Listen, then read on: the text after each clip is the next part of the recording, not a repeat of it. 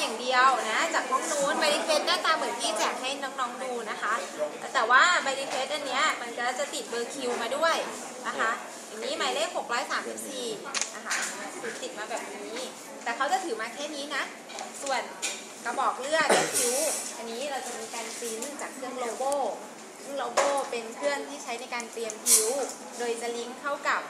LIS นะคะ LIS คือในคอมพิวเตอร์เป็นเอ่อ lab lab information system นะคะ ก็คือจะลิงก์เข้า พอเวลามาเสร็จปุ๊บเขาก็จะปริ้นบาร์โค้ดออกมา ว่าถึงคิว lab number นี้แล้ว เราก็จะยิงบาร์โค้ดตัวนี้เชิญหมายเลข 0 6 3 4 ที่ช่อง6อะเราจะขึ้นมาอย่างนี้คนไข้เราก็จะได้คิวเขามาแล้วเขาก็จะเดินมาห้องนี้ ก็จะมีหลอดเลือดเขาอยู่ที่โต๊ะนี้แล้ว คนต่อเลือดนะคะ ก็จะถามว่าผู้ป่วย ชื่ออะไร นามสกุลอะไร แล้วเขาก็จะเช็คเคสว่า lab request ตรงกับที่หมอออเดอร์มาหรือเปล่า อย่างนี้คนไข้เขาขอ PT นะคะ PT เป็น test หนึ่งในการขอตรวจทาง coagulogram นะคะดูในเรื่องของการ prolongของเลือดนะคะเออ extensive pathway intensive pathway อะไรเหล่านั้นนะคะ หลังจากนั้นเช็คแล้วถูกต้องชื่อถูกเขาก็จะเจาะเลือดให้คนไข้เรียนเจาะเลือดหรือยังคะยังเรียนแล้วยังแต่ยังเรียนตอนไหนไม่เรียนเคยโดนเคยตัวเลือดบัตรซาเมียบัตรซาเมียบัตรซาเมียอุปกรณ์เจาะเลือดก็จะมีอะไรที่วางแขน มีทูนิเก้ใช้ในการรัดแขนคนไข้เพื่อดูเส้นอ่าหลอดเลือดหลอดเลือดเขาเตรียมไว้ให้อยู่แล้ว คิวเลือดมีลักษณะยังไง หลอดเลือดเอ่อก็จะมีสารกันเลือดแข็งใช่ไหมคะ ในแต่ละหลอด สารกันเลือดแข็งแต่ละประเภทมันก็จะจะแยกกันซึ่งหนึ่งหัวอย่างนี้ สีแดงเรียนแล้ว มีสารกันเลือดแข็งไหมคะ ไม่มี ไม่มี สีเขียว สารกันเลือดแข็งชนิดอ้าวเก่งมากลิเธียมนิวคลีน แล้วถ้าสมมติว่าเป็นสี EDA EDA เป็นสีนี้ล่ะ ซิเตตโอเคเก่งมากแล้วก็สีนี้ สีเทาโซเดียมฟลูออไรด์โอเคนะคะถ้าสมมติว่าคนไข้เดี๋ยวนะจำไว้นะจำไว้นะ ถ้าสมมติว่าคนไข้เขาเจอดตรวจน้ำตาล เราจะใช้คิ้วนี้นะคะคิ้วนี้คือเรียมฟูไลบลัดนะคะ มันจะเป็นคิ้วที่มันมีอ่อ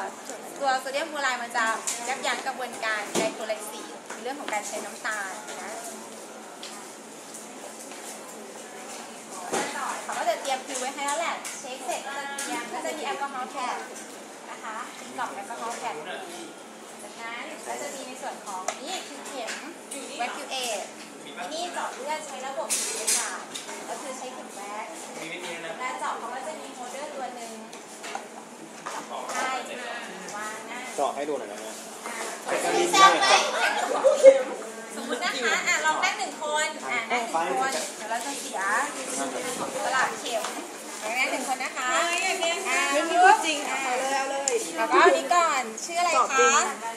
จักรีแจ็คการินแจ็คคิวนะคะ แล้วก็จะเช็คคิวว่าชื่อนี้ตรงไหมใบดีเควสชื่อจักรินนะ เคสครบ อะ เช็คเรียบร้อย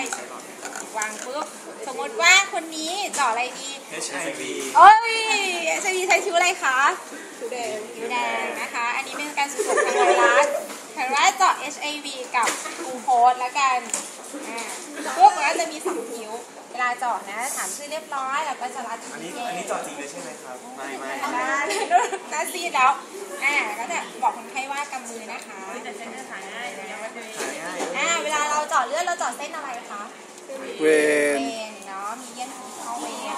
ว่าเราถึงละโอ้ยเส้นไหนดีอะไรอย่างเงี้ยเส้นนี้ดีกว่าอะเช็ดแอลกอฮอล์โดยการหมุนวนออกต้องใส่ถุงมือด้วยนะ เอาก่อนอันดับแรกต้องใส่ถุงมือนะเวลาจาะนะคะเข็ม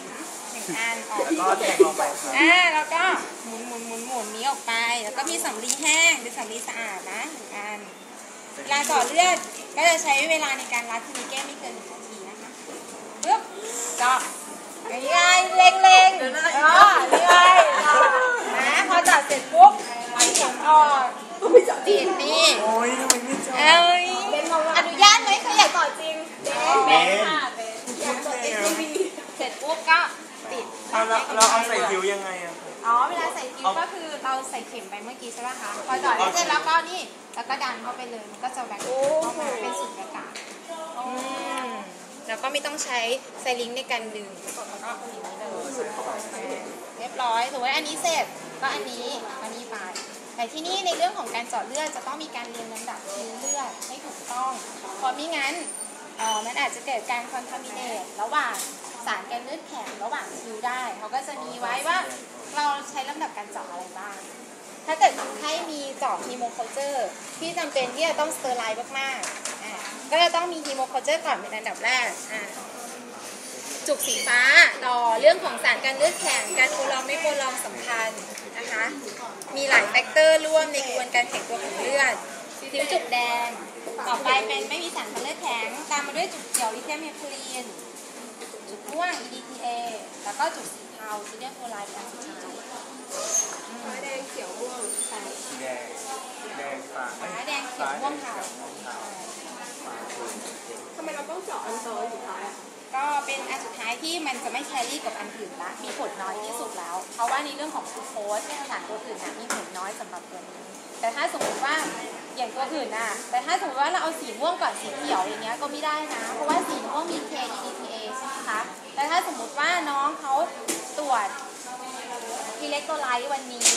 อิเล็กโทรไลต์มี K อยู่ตัวหนึ่งใช่ไหมคะ เพราะเราใช้สีม่วงก่อน มันอาจจะคอนทามิเนต K จาก K EDTA มาสู่คิ้วของลิเธียมสีเขียวก็ได้นะมีผลวินพีเอนี่คือกระจายใช่อันนี้มันจะเป็นแบบพ่นคืค่ะอฉีดเข้ามามันเหมือนเขาจะมีเรื่องของการเตรียมแล้วก็คำนวณแล้วแต่มันจะเป็นแบบแต่เวลาเราเจาะเสร็จปุ๊บใช่ค่ะเราต้องมิกให้ดีนะเขาจะมีเรื่องของการมิกด้วยเนี่ยว่าให้เขย่ากี่ครั้งต่อกี่ครั้ง ถ้าเขย่าเกินนะครับ เกินเกินนิดหน่อยก็ได้แต่ถ้าเกินมากๆ เราก็จะเจาะเลือดคนไข้ไม่ทันหรือถ้าเราเขย่าแรงเลือดมันก็จะแตกเกิดการอะไรคะเลือดแตกฮิวอะไรสิใช่